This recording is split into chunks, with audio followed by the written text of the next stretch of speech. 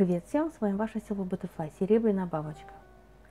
А, Сегодня у меня будет такое халатное видео, потому что я сама в таком халатике. Вот. Видите? Чита стайл. Так вот. За окном почему-то стройка, все гремит, но я продолжаю разговор. Так, хотелось мне показать сегодня халатики мои. Не все, конечно, но часть. И вот такой халат. Может быть, у кого-то был. Это халат из моего детства. А, почему-то новый.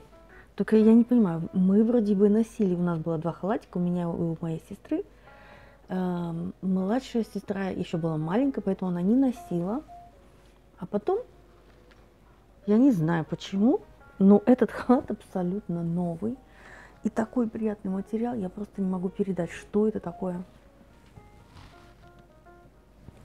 Он такой теплый, мягкий, в то же время модный. И мы такие подростки э, очень себя считали модницами в таком халатике после ванной.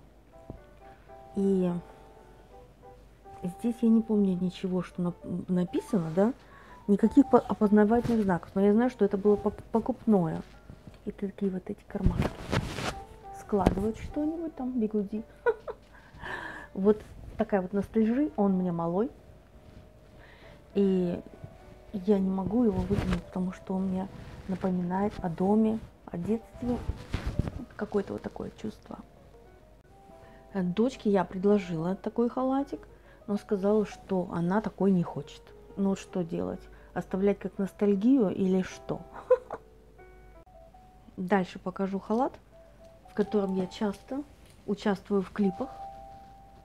Но это, слава богу, мне как раз, и вы частенько меня видите в халатных видео в нем. Такой миленький. Так.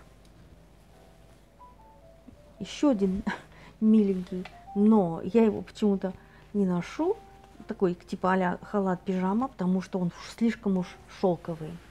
Такой вот с мишками.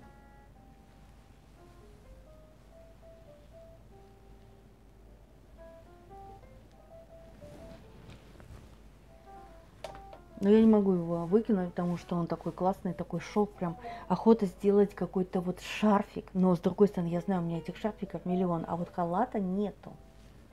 Так что пусть будет. Э, кстати, дочке моей нравится, она сказала, что я его забираю. Далее. Вот такой халат, который я тоже была в клипах. Типа а-ля 70-й, а может быть он и действительно 70-х.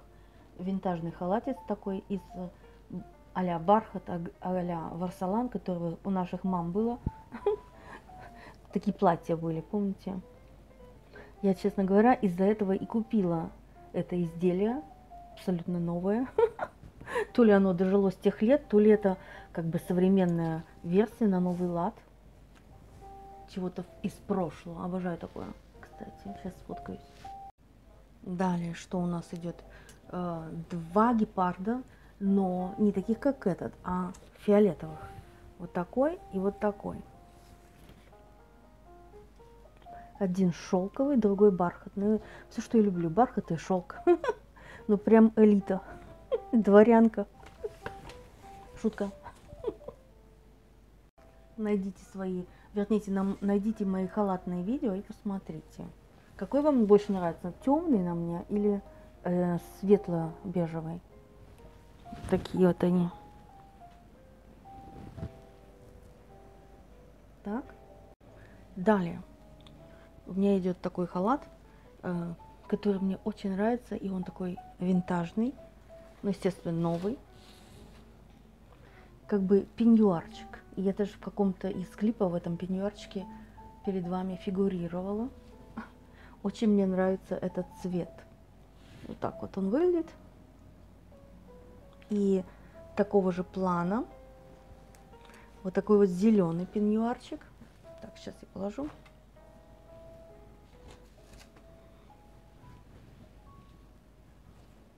Но здесь еще у меня один обычный халатик из хлопка.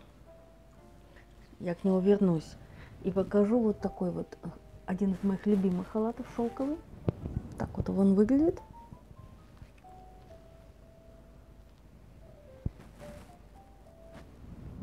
Это далеко не все халаты, просто те, которые э, я сейчас организовываю, чтобы у меня они мелькали перед глазами.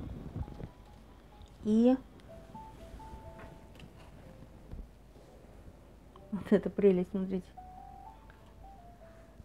Это, скорее всего, времена э, молодости моей мамы. Но это новейшая вещица. Наверное, очень много стоит. Винтаж. И вот такой халатик, в котором я зажигала, э, уже родив ребенка. Почему-то мне нравятся вот такие вот котятки. Я не могу его выкинуть, у меня такая ностальжи.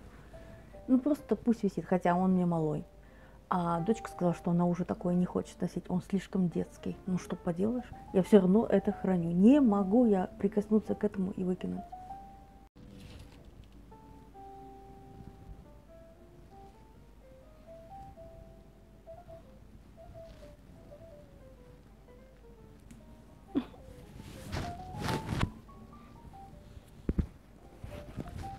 Ну, типа того, да. Вот так. Конечно, это задом наперед, но не важно. Смотрите, как аккуратненько все сделано. Вот эти горошечки.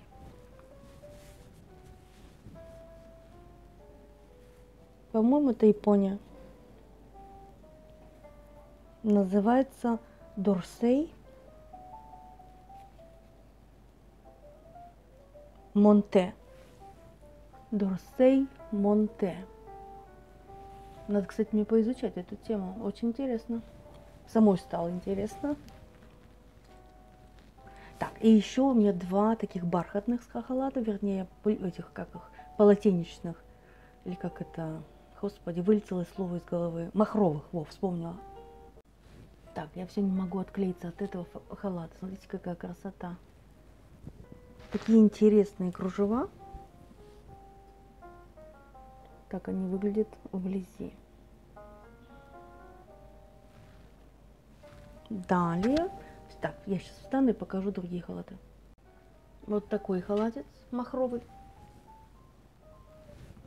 Он прям теплый, как собака.